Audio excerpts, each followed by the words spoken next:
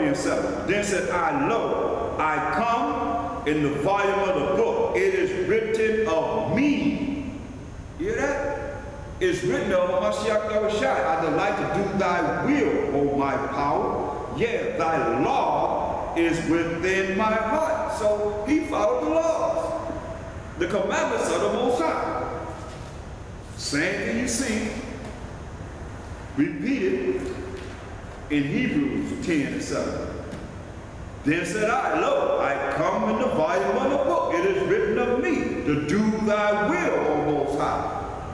What was it written? We just read it in Psalm 47. That's why you're looking at the New Testament as something new. No, it's just giving us understanding of the Old Testament.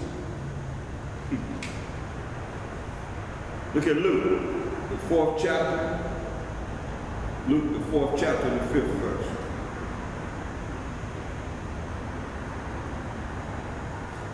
This one, Mashiach Yahushua had fasted 40 days and 40 nights. And who comes? Here comes Satan. Here come the devil. Here come the Satan. Here come the beast. Here come the dragon. Here come the spirit of sin. Luke the fourth chapter, the fifth verse. And the devil taking him up into a high mountain, showed unto him all the kingdoms of the world in a moment of time. So Satan took him up to a high mountain and showed him all the kingdoms of the world in a moment of time, including this wicked kingdom of Sodom and Egypt. America. It says, and the devil said unto him, All this power will I give thee, and the glory of them. For that is delivered unto me. And to whomsoever I will, I give it. What's the condition? You want all this power to rule all these kingdoms? That's what come on earth? What did he say? If thou therefore wilt worship me, all shall be thine. So what did he tell him? He said, if he worships Satan, you bow down and worship me, all shall be thine. So how everybody got this kingdom? These kingdoms that been in charge of, and including today by bowing down to Satan. Yet the Mashiach answered and said unto him, verse 8, Get thee behind me, Satan, for it is written, Thou shalt worship the Most High thy power, and him only shalt thou serve. You got to hear what he's telling him. He telling Satan, say, Get thee behind me, Satan, for it is written, Thou, you, Satan, shalt worship the Most High, your power, Satan, and him, the most high power of Abraham, Isaac, and Jacob, only shall thou serve. That's what he told him. But where did he go? He went for all you that don't believe that we got to follow the law. He went to the law. That's where he went. That's where he went. In Deuteronomy 6 chapter. And everything that he said was from the law. When we said he would like to do the law of the Most High, Deuteronomy 6 and 13. Deuteronomy 6 and 13. Thou shalt fear the Most High, thy power, your power, and serve him, and swear, and shall swear by his name. See?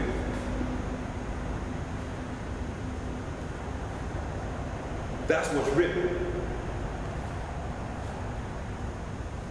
And that's what he had to go by. Job 9 24.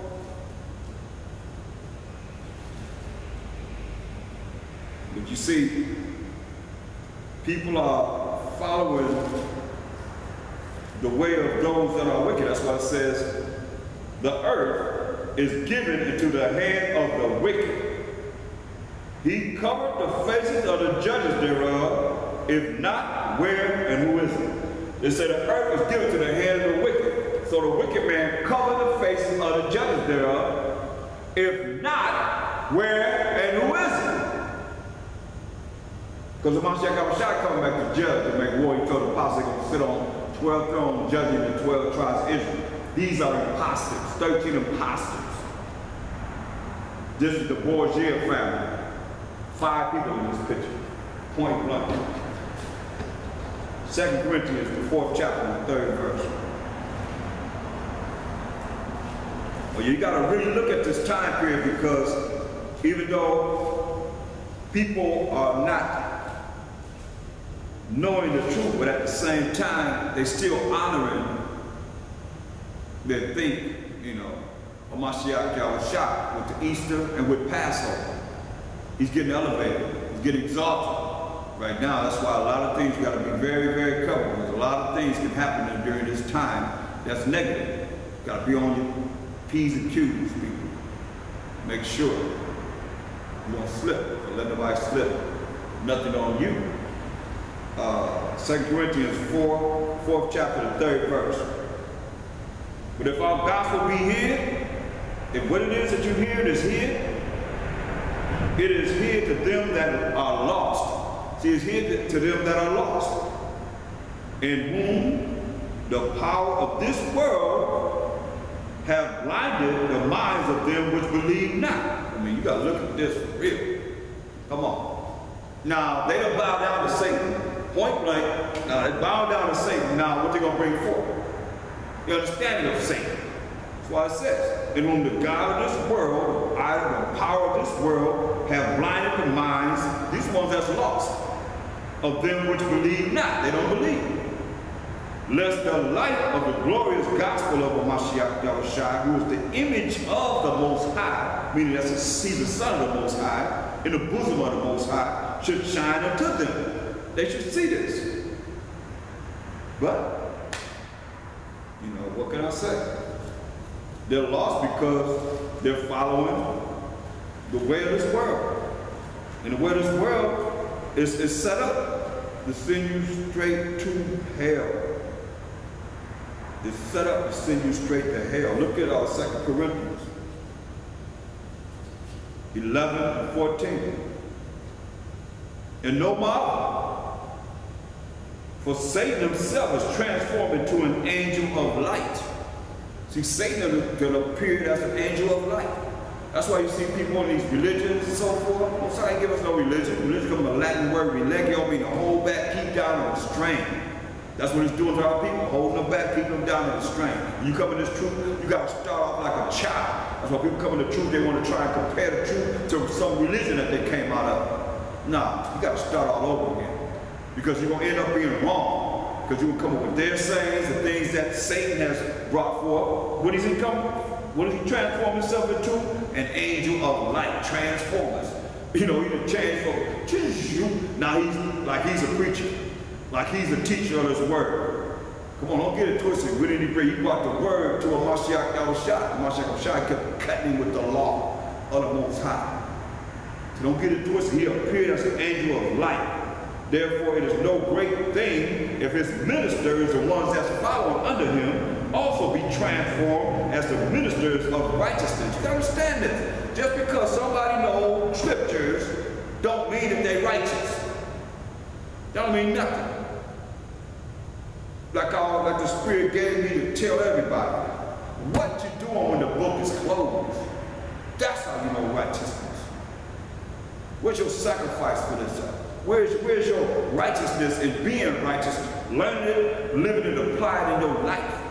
We say, therefore it is no great thing if his ministers also be transformed as the ministers of righteousness, whose end shall be according to their works. It ain't gonna be according to their works. Mind you, ain't nobody getting away with nothing. None of us. Because we all go into judgment people, Masha, Yahusha. And it's coming. You know it's coming. You better be ready, that's all I can tell you. You better be ready. Acts 26 and 18.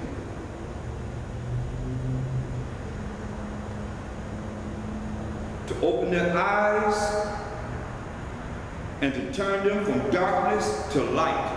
Why, you got, why we gotta turn, why you gotta turn us from darkness to light? Hold that, get Isaiah 60 and 2. Isaiah 60 and 2. For behold, the darkness, which is ignorance, which is not knowing, which is being stupid. Behold, the darkness shall cover the earth, which is ignorance, not knowing, and gross darkness to people. Come on. Gross darkness to people. But the Most High shall arise upon thee, and his glory shall be seen upon thee. Only the one-third of the 12 tribes of Israel. Now going back to Acts 26 and 18. To open their eyes and to turn them from darkness to light. Turn them from darkness, ignorance, gross ignorance, because we know the people are in gross darkness, gross ignorance. So to turn them from being in ignorance to this light, and from the power of Satan unto the Most High. Because look, look, if you don't have this truth, then you dealing with Satan. More, more than likely, when you talk to people, those spirits in them is Satan. But you don't know it because you got to know enough of the truth to, to be able to recognize the spirits that's in these people. Because he get at people and he make them do what he want to do. He make them say what he want them to say. Demons in people. You check it out, man. Psychiatrists, they can't figure this out. They don't want to, want to talk to the people that have these demons, They talk to them. They be talking to them. They be answering them. They be talking to them all the time. I seen a case there where the cat was like, got rid of him. He missed it. So used to him. I mean, some of you so used to these spirits that you have that when you, you talking about being cleaned up, you can't be cleaned up because you don't want to let them go. And they don't want to let you go. And you know You better become that new man. Hmm. you better be born again. You better become that new creature and let it go.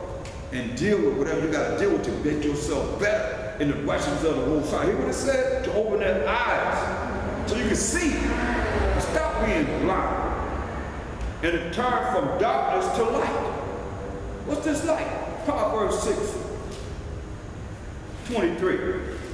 Proverbs 6 and 23.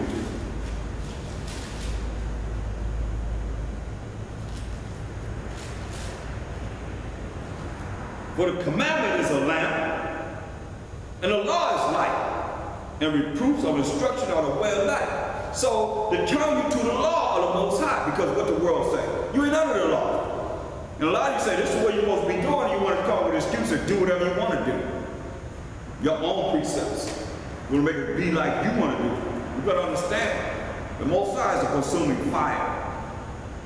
When you start burning people up and killing people, you're going to recognize them.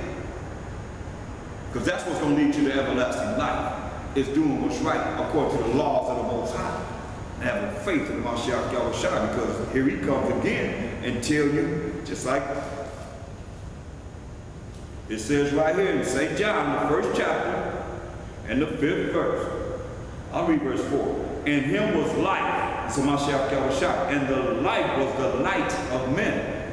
His life, he was an example to show us how to follow the laws of the Most High. That's why it says, in the light shining in darkness. So he shone himself in the darkness of what world? Whose world was he in when he came on earth?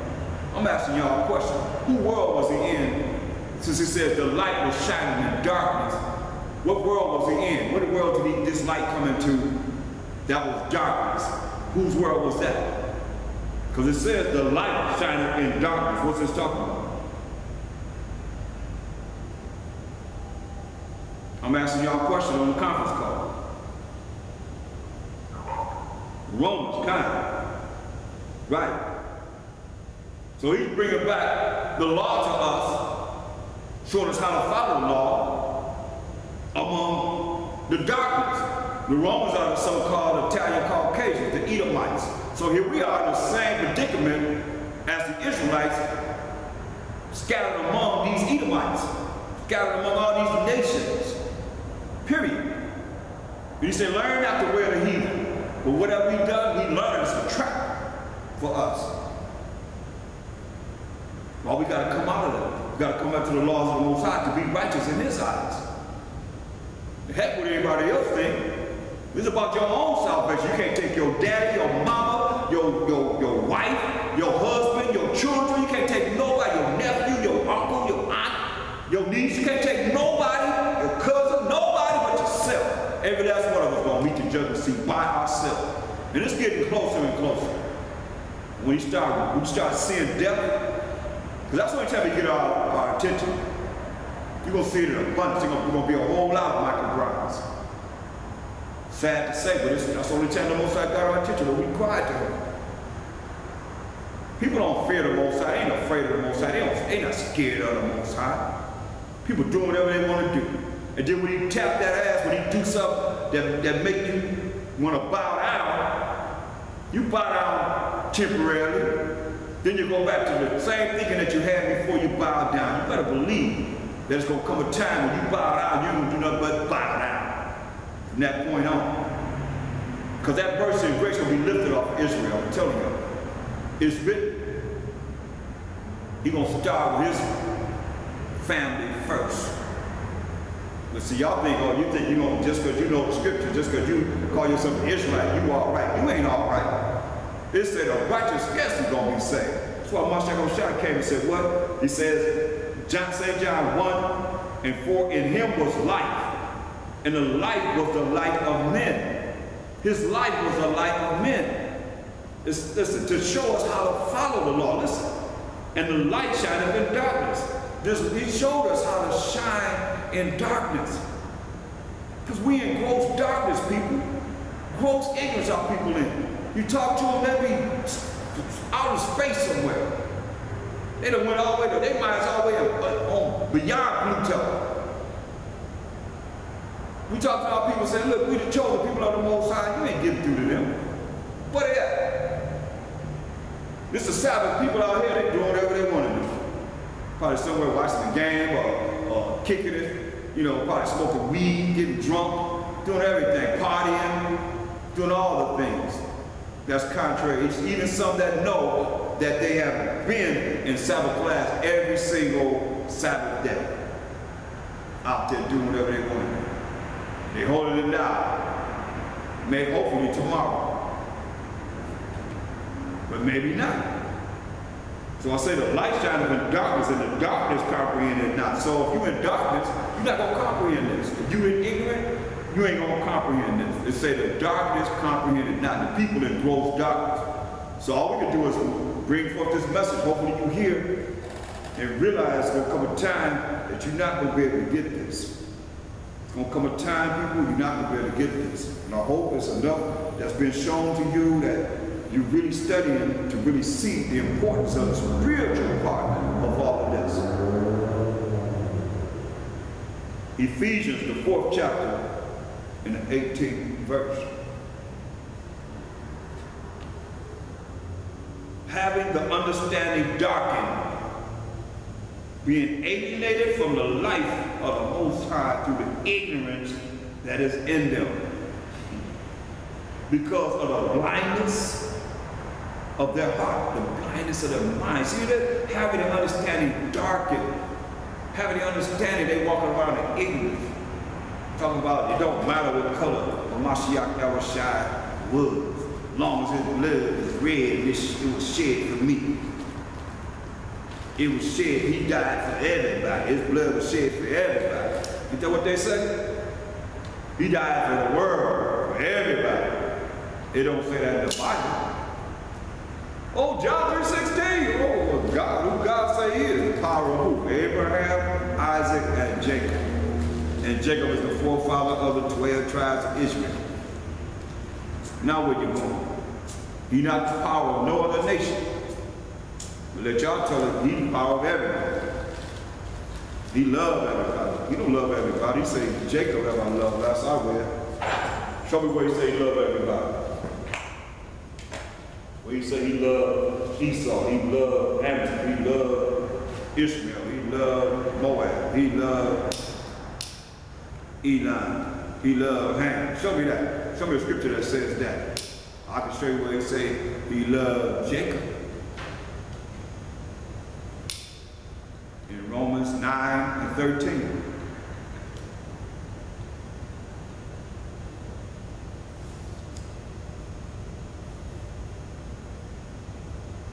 Coming from Malachi 1 and 1 down.